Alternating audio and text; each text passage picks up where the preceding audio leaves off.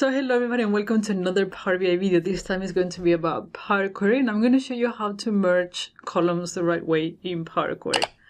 So you don't get unexpected results. Yes, you can get unexpected results depending on how you do it. So let me show you. Okay guys, I'm going to show you some examples of what can go wrong when you're merging things and what is the proper way to do it so you know what you're getting every time. First of all, I have a simple table, color, product, and sales. Color is text, product text, sales number. And we want to concatenate them. We want to put them together separated by comma. So you what you can do, one of the things to do it is you select the three columns and then right click and then merge. Okay, and then you say, okay, I want a comma separated, merge, fine. It will convert the three columns into one. And then everything will merge perfectly. You see red bike 11.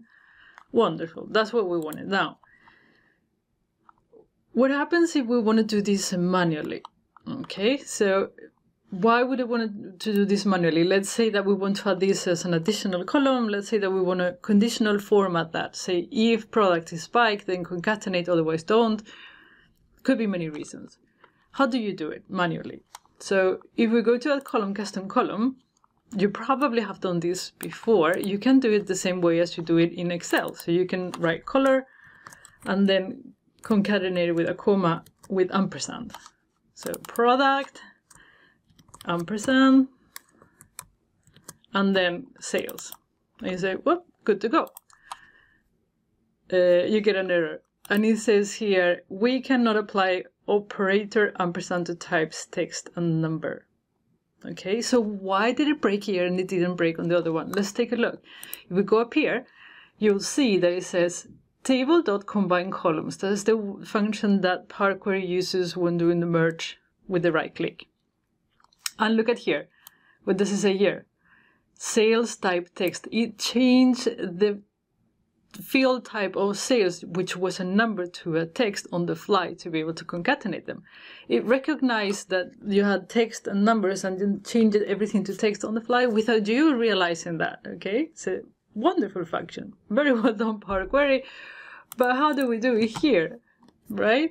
That well, you have to do it on the fly too. So what you're going to do, you go back here to sales, and then you're going to write text from. So you're going to convert the number to text on the fly. Right? And that will concatenate it. Ish. Not really. Look at this. This concatenated perfectly, but if you look at row 5, we have null, bike 8, and it returned null. Well, up here, you had bike 8 in a blank. When it was a blank, it did it correctly, the same web here, you know, same result, but when it's a null, it's not concatenating at all. Why?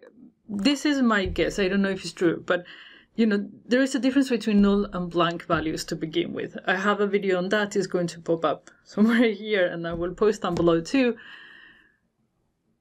Nulls I think it doesn't have a data type, so you can't convert null to text or to or to number to nothing. So that's why you can't concatenate it, and it returns a null instead. How does Power Query does it here? I'm guessing that it has built in so it can manage nulls, so it'll actually do it. So how do we do it? There is a Power Query function called text combine and text combine requires list a list you know you have to put your columns into a list and then you put the separator like comma space whatever you want. So this is how it works. I'll show you. Let's open it here. I can write it there but so we write text dot combine and then we're going to convert our columns into a list. So the curly thing is going to transform it into a list.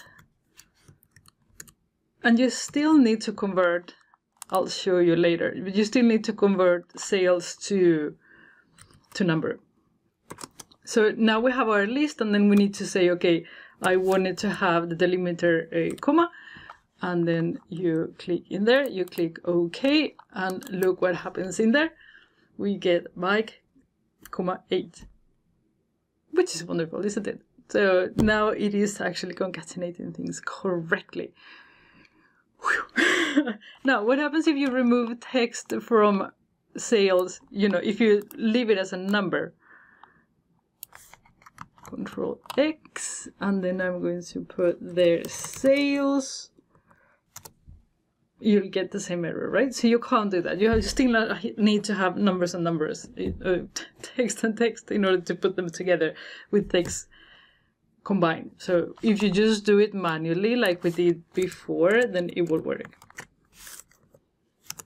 Okay, so now think about it. When you are working with dynamic data, you don't know when you're going to get a null value. And if you're concatenating things the Excel way, you're probably not going to get your values correctly. So use always text combine instead, because that will always give you the right answer.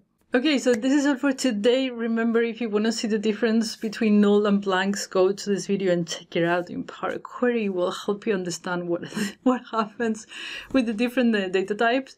And uh, otherwise, I will see you on Friday, I think with another DAX Friday's battle. Not sure, but we, we, we will see. I will see anyhow on Friday. Until then, take care. Bye-bye.